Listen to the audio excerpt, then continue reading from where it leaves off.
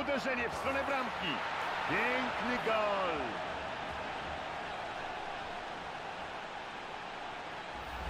Co mogą osiągnąć z tak grającym bramkarzem?